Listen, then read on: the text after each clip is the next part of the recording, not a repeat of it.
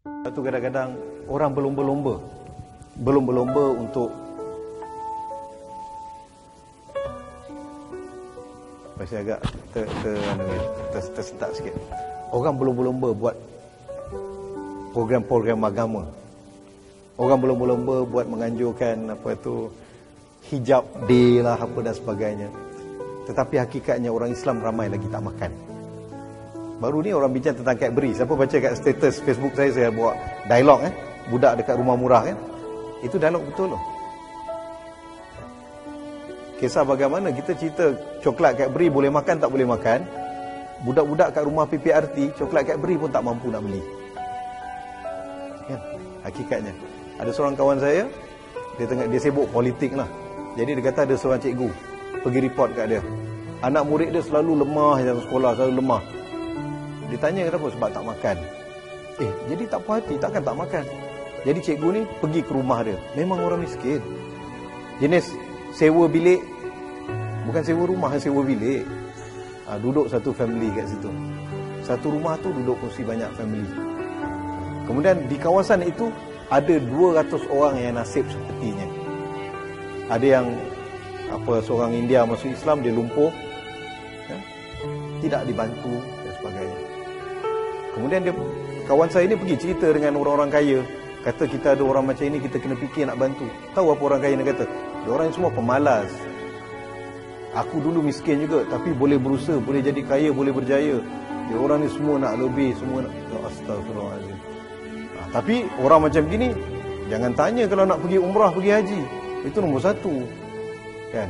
Nak buat program tak apa saya boleh kasih duit nak buat program. Nak panggil orang ni kita boleh buat. Kalau nak buat gitu buat gini. Ada tahfiz, tak apa kita buat tahfiz. Ini it'amul masakin, memberi makan orang miskin. Mereka ni bukan tak kerja, dia kerja. Tapi kita mesti ingat, otak orang tak sama. Kalau orang semua sama cerdik, longkang tak ada orang nak angkat sampahnya. Kalau orang semua cerdik, sampah akan terbiar sebab tak ada orang nak kerja. Tapi ada orang yang otaknya dia boleh pergi sampai takat tu ya. Dia kerja pagi, petang, siang, malam pun dia takat tu. Dan orang macam ini perlu ada support system untuk membantu terutamanya pendidikan anak-anak mereka. Sebab tu maka macam orang-orang apa OKU ini kesedaran masyarakat itu. Sejauh mana kesedaran masyarakat untuk melihat OKU sebagai satu anugerah Tuhan kepada masyarakat untuk mereka peduli menunjukkan cintanya Allah pada kita dengan ciptakan mereka dan cintanya Allah kepada mereka dengan menciptakan kita. Malangnya pada hari ini agama yang kita anuti ini tidak disikapi daripada sudut ihsannya. Inna Allah katabal ihsana ala kulli syai. Tak. Kita lebih nampak agama lebih untuk pentingan diri sendiri. Kita beramal untuk kita masuk syurga. Orang lain lantaklah dia. Kan anjing nak mati biarlah dia mati.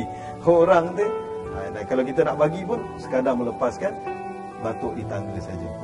Dan yang keduanya, institusi agama itu institusi agama Kenapa tidak? Saya bila lihat OKU tu semalam, nangis dalam jiwa.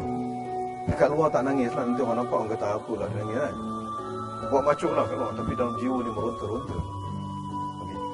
Bila lihat, saya terfikir, kenapa tidak ada one stop center? Kita ada pusat zakat lah, baitul mal, kutipan ratusan juta. Kenapa tak boleh buat di setiap daerah itu adanya pusat untuk OKU? pusat pendidikan tak mana pun dia orang boleh datang untuk dia rasa tidaklah mereka ini terasing. Yang diberikan makanan kepada mereka, diberikan pendidikan. Mengapa tidak guru-guru kita hari ini kalau orang keluarkan beasiswa Jabatan Agama untuk belajar orang belajar syariah usuluddin. Lately ni hantar untuk belajar medik dan untuk belajar siapa ni farmasi. Medik dia dah balik belajar, dia buka klinik sendiri, dia tak dia tak tolong kita kan. Kenapa tidak dihantar cikgu-cikgu mengajar pendidikan khas ni untuk pergi ke luar negara belajar daripada sistem sana.